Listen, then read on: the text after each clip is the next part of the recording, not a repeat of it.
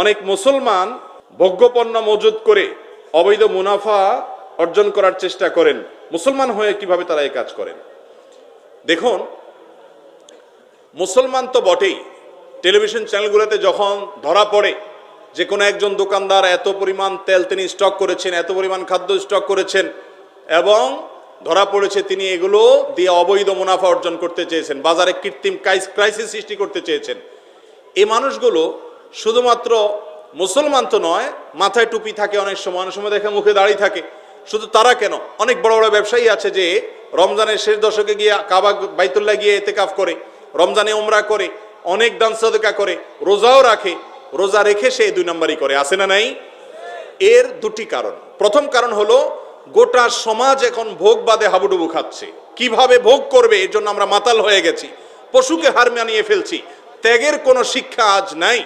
এজন্য শিক্ষা প্রতিষ্ঠানে ধর্ম শিক্ষা, নীতি শিক্ষা, আদর্শ শিক্ষা মোরালিটি এগুলোর চর্চা বাড়াতে হবে।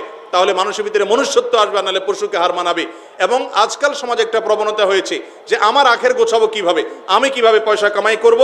তার জন্য আমি অস্থির হয়ে থাকি। সেটাতে আমার জন্য হালাল হোক বা হারাম হোক বাজ বিচার করে না। এর কারণে, এক নম্বর কারণ হলো এটি যে আমাদের মধ্যে এই অপরাধ বোধ নাই এবং আমরা এই ক্ষেত্রে জানি না। যে ত্যাগের মধ্যে যে আনন্দ আছে, ভোগে সে আনন্দটা নাই।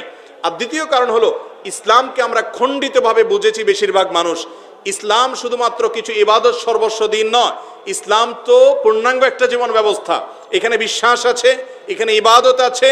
আপনার ব্যক্তিগত জীবন যাপনে কোনো ব্যক্তির হক, অধিকার যদি আপনি নষ্ট করেন, আপনি আর যাই হোক, খাঁটি মুসলমান হওয়ার কোনো রাস্তা খোলা থাকতে পারে না। আপনি পাঁচ ওয়াক্ত নামাজ পড়েন, আপনি জাকাতও হয়তো দেন, আপনি হজ করেন ওমরা করেন, রোজা রাখেন, কোরআন তেলাওয়াত করেন, অথচ আপনি মানুষকে ঠকান, আপনি দোকানদারি করে ভেজাল মিশান, আপনি অবৈধভাবে গুদামজাত করে বাজারে ক্রাইসিস সৃষ্টি করে অধিক মুনাফা অর্জন করেন, এই সমস্ত কাজগুলো হারাম এই উপার্জন করা হারাম, আর হারাম উপার্জনকারীর দোয়া সম্পর্কে নবীজি বলেছেন, আন্না ইস্তাজাবুলা। কীভাবে তার দোয়া কবুল হতে পারে? তার দোয়া কবুল হবে না, ইবাদত কবুল হবে না। এই জন্য ভাইরা আমার যে সমস্ত ব্যবসায়ী ভাইরা মনে করছেন যে আমি দান সৎকা করে আমার কালো টাকা সাদা করে ফেলব, হারামটা হালাল করে ফেলব, বৃদ্ধ বয়সে আমি তেজবি তাহিল করে সব কাটাকাটি হয়ে যাবে, তারা ভুলের স্বর্গে বাস করছেন। বান্দার হক আল্লাহ তালা মাফ করবেন। অতএব আপনি ব্যবসা করতে গিয়ে কোনো অসাধুতা যদি অবলম্বন করেন, একইভাবে যারা ক্রেতা, তাদেরও অনেক কর্তব্য আছে বিক্রেতার প্রতি, সেগুলো তারা পালন করতে হবে। নবী করিম সাল্লাহ আলী ওয়াসাল্লাম বলেছেন রহিম আল্লাহ রজুলেন সামহান ইদাবা সামহান ইদাস্তরা ওই আল্লাহর প্রতি আল্লাহ রহম করেন। যে ব্যক্তি কিনতে গেলেও ভালো মানুষের পরিচয় দেয়, বিক্রি করতে গেলেও ভালো মানুষের পরিচয় দেয়। আল্লাহ তালা আমাদের ব্যবসায়ী ভাইদেরকে খাঁটি মুসলমান হওয়ার তৌফিক দান করুন। মানুষের মতো মানুষ হওয়ার তৌফিক দান করুন। মুত্তাকি ব্যবসায়ী হওয়ার তৌফিক দান করুন।